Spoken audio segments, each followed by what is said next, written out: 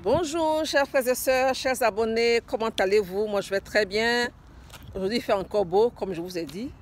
Il a fait un peu froid hier ou avant-hier mais là aujourd'hui ça va. Le ciel est bleu derrière moi, vous voyez bien. Je suis en plein air. Alors je vais continuer mon histoire, mon expérience, hein, mon témoignage sur euh, euh, la Divi Lottery et notre séjour ici aux États-Unis. Dans mes dernières vidéos, j'ai parlé du voyage, j'ai parlé de la question du logement, comment est-ce qu'on a pu régler le, la question du logement. Et puis les premières démarches administratives, j'ai parlé de la Social Security et j'ai dit aussi à quel moment est-ce qu'on a eu les green cards. Mais en fait, avant même de recevoir les green cards, il fallait qu'on fasse quelque chose en urgence. C'était d'inscrire les enfants dans les écoles. J'avais cette ma fille qui était à l'université, elle, il n'y avait pas de souci. Mais j'avais les trois autres, il y en avait qui a un qui était à l'école primaire et puis deux autres au secondaire. Donc il fallait faire leurs inscriptions. Parce que les enfants de cet âge-là, selon la loi, doivent aller à l'école, c'est obligatoire. C'est l'école obligatoire. Ce que nous avons fait donc, nous sommes allés avec l'aide de celui qui nous a trouvé le logement. Il nous a aidé aussi à inscrire les enfants. Et dans ce cas-là, il faut forcément se faire aider. Il faut trouver quelqu'un qui vous aide dans ce sens. Nous sommes donc allés dans le district, c'est-à-dire l'inspection primaire et secondaire, avec le contrat du logement parce qu'ils doivent s'assurer que vous habitez dans la zone que leurs écoles couvrent. Donc nous sommes allés avec le contrat de logement. Et puis là-bas, ils ont subi quelques tests euh, pour savoir comment, pour savoir comment les, les intégrer dans le système. Et donc, après les quelques tests, ils nous ont demandé d'aller maintenant dans les écoles. Ce que je, viens de dire là, c'est dans le district, dans le bureau du district. Après, nous sommes allés dans les écoles concernées avec les documents qu'ils nous ont remis. Et puis là-bas, on les a intégrés dans les classes. Après les procédures que nous avons effectuées dans le bureau du district, on a reçu des documents avec lesquels nous sommes allés maintenant dans les écoles concernées. On est passé dans chaque école et là-bas, ils ont été intégrés dans des classes en fonction de leur âge, pas en fonction de leur niveau, en fonction de leur âge.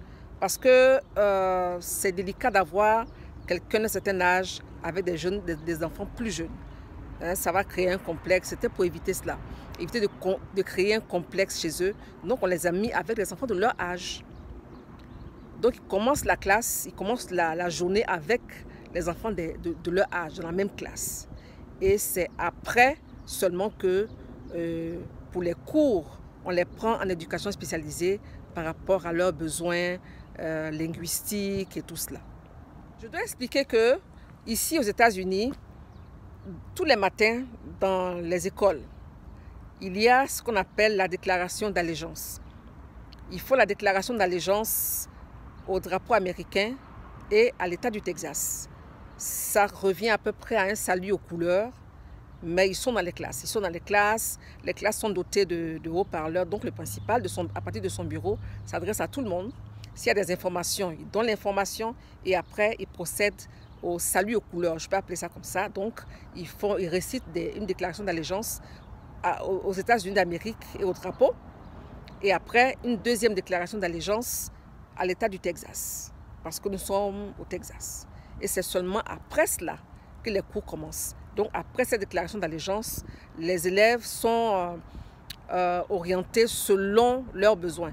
Pour ceux qui viennent d'arriver, ils iront dans des classes spécifiques pour apprendre la langue d'abord et puis pour euh, d'autres exercices. Ici, il n'y a pas d'examen de, national tel que le baccalauréat au pays. Il n'y a pas d'examen national. Chaque établissement, chaque district plutôt, décerne des diplômes de fin d'études secondaires aux élèves sur la base de validation de crédit. C'est en validant des crédits que les élèves obtiennent leur diplôme de fin d'études secondaires. Il n'y a pas d'examen. Donc, les élèves, quand je suis venue à mes enfants, j'allais dire mes enfants sont venus avec quelques niveaux. Donc, euh, ils ont été évalués et à partir de l'évaluation, après l'évaluation, on a, on a considéré qu'il y avait des crédits qu'ils avaient déjà validés. Et donc, c'est à partir de là que euh, ils ont pu quand même avoir leur diplôme de fin d'études pour certains. Le dernier, lui, il va graduer euh, cette année 2023. Mais les autres, ils ont pu obtenir leur diplôme en même temps que leurs camarades de classe parce qu'ils ont eu des cours accélérés entre-temps. Voilà, aujourd'hui, euh, je vous ai expliqué un peu le, le processus d'intégration des élèves, de mes enfants dans les écoles primaires ou secondaires. Je vais quand même dire qu'au niveau de l'école primaire, il y a, ça varie entre 5 et 6 ans. Au niveau du premier cycle du secondaire, c'est 2 ou 3 ans.